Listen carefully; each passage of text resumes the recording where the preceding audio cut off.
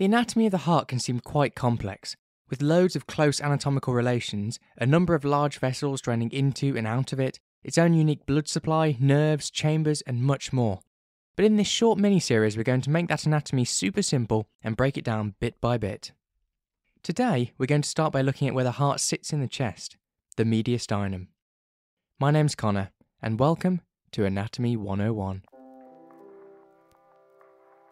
The mediastinum is the central part of the thorax and the part that contains the heart as well as many other important structures.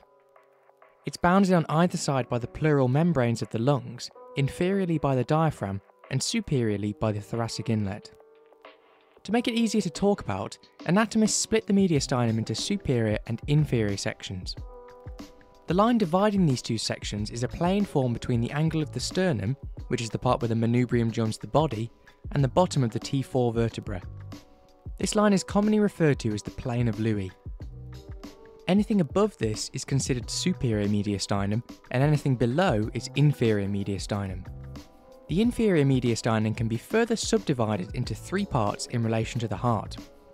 Anterior to the heart is the anterior mediastinum, where the heart sits is the middle mediastinum, and posterior to the heart is the posterior mediastinum. Let's take a closer look at these sections now and see what structures lie within them.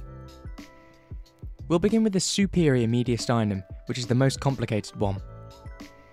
All of the structures coming out the top of the heart first pass into the superior mediastinum. Starting with the arteries, we have the arch of the aorta, which curves through the lower part of the superior mediastinum, and from this comes the brachiocephalic artery, which branches to provide the right subclavian and left common carotid arteries. The other two branches of the aortic arch are also in the superior mediastinum. These are the left common carotid artery and the left subclavian artery. Now let's take a look at the veins. The two main veins draining into the superior vena cava are the left and right brachiocephalic veins. In the superior mediastinum, the left brachiocephalic vein receives blood from the left superior intercostal vein and the left and right supreme intercostal veins. Lastly, the part of the azygos vein that drains into the right brachiocephalic vein also sits in the superior mediastinum. There are two main pairs of nerves in the superior mediastinum, the left and right vagus nerves and the left and right phrenic nerves. Lastly, the top part of the esophagus and the trachea also both sit in the superior mediastinum.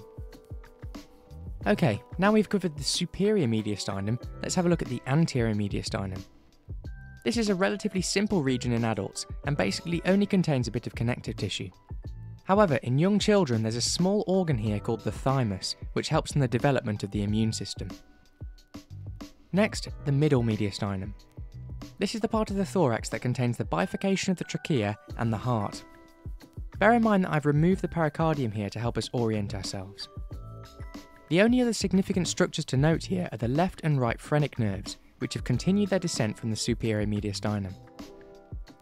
Lastly, let's look at the contents of the posterior mediastinum. The first structures to note here are the sympathetic trunks, which are nerve fibres that run down either side of the vertebral column. We also have the aforementioned azygos venous system, which sits just anterior to the vertebral bodies. The azygos vein receives blood in this region from the accessory hemiazygos and hemiazygos veins.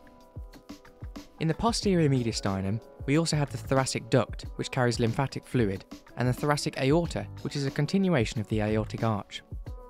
Here I've just drawn the posterior intercostal arteries, which supply the posterior thoracic wall, but the thoracic aorta also produces a number of small branches to the bronchi, esophagus, and diaphragm. Finally, in this region, we have the esophagus, which travels all the way through the thorax on its way to the stomach. And there we go, that's the borders and contents of the mediastinum neatly summarised for you to learn from. We've got a whole mini series coming up on the anatomy of the heart, so make sure to subscribe to the channel now so you don't miss out. I hope you learned something, and have a great day.